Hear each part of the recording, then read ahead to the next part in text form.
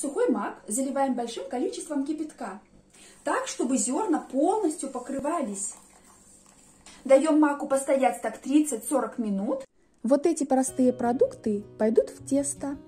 Первым делом я вбиваю яйцо. Почему яйцо? Чтобы проверить, что оно точно аккуратное. Добавляем сахар, тут же молоко, тут же растительное масло. Чем я обожаю этот рецепт? Вы видите, я просто все в кучу смешиваю. Ванилин 1 грамм, творог, у меня 10% жирности пачка. Долго я не замешиваю, буквально 20-30 секунд, хватит. Вы можете взять венчик. Сюда же мука. Муку я не просеивала. Мы готовим так, чтобы все получилось быстро, вкусно и очень просто. Теперь разрыхлитель.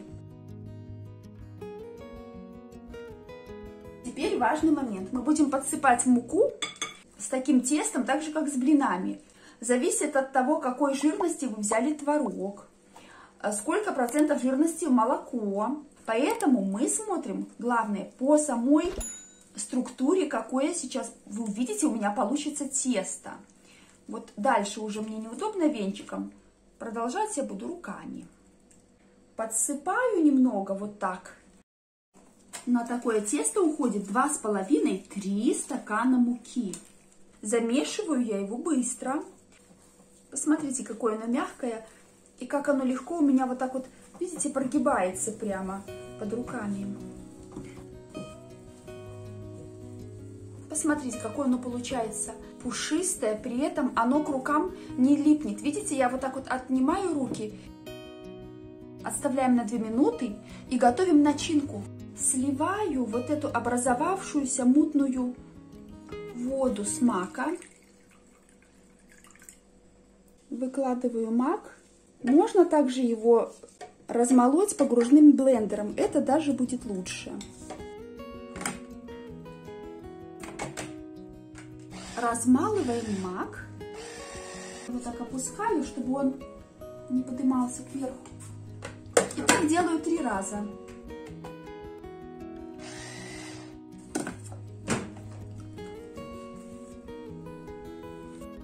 Всыпаем сахар, перемешиваем. И сейчас надо будет делать все очень быстро. Потому что если сахар будет стоять, и если мы будем вот так дольше продолжать мешать, то начнет сахар растворяться, и начинка станет мокрой. Пергаментная бумага. Можно присыпать немного мукой. Это важно, чтобы не прилипало к любой пергаментной бумаге. Тесто нам надо растянуть по пергаментной бумаге. Сильно скалкой, тонким слоем не раскатывайте примерно 5 миллиметров. Тесто очень эластичное, а почти-почти не липнет. Выкладываем начинку. Начинку мы мешали, может быть, секунд 10. И совсем не давали ей времени постоять. Сахар даже еще видно, что он такими кусочками. Он не успел еще раствориться. Распределяем. И теперь будем скручивать. Я выложила форму.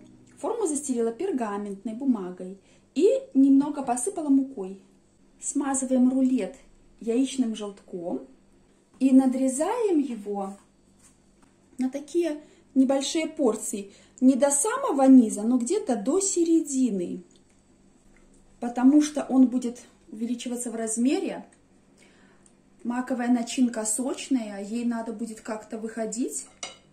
И если мы не сделаем надрезы, он полопается в самых разных неожиданных местах. А так мы ему хотя бы направление покажем, где лопаться. И будет очень красиво. Ставим в духовку на 180-200 градусов примерно 40 минут.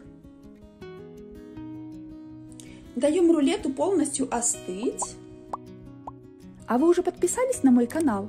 Тогда ставьте лайк этому простому и такому ароматному рулету. На канале много разных вкусняшек. Видите? Вы останетесь довольны, это очень вкусно. Вы видите, сколько начинки? Посмотрите, какой он мягкий внутри. Вкусно? Сахара в меру. Подписывайтесь, друзья. Пока-пока.